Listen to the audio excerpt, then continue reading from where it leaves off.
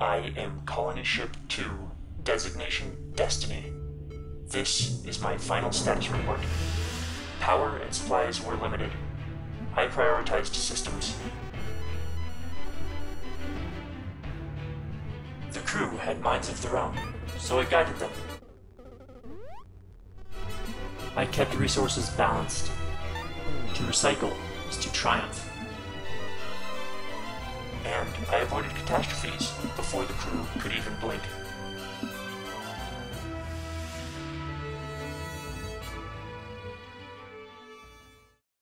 I thought I could get them across the void. It wasn't enough.